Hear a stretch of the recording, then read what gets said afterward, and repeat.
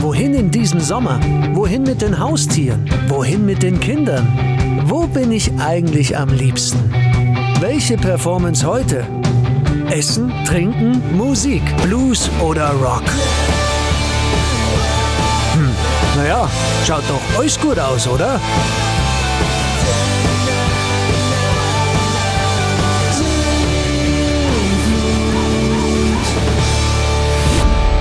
Sinnflut, das Kulturfestival. Vom 21. bis 30. Juli in Erding.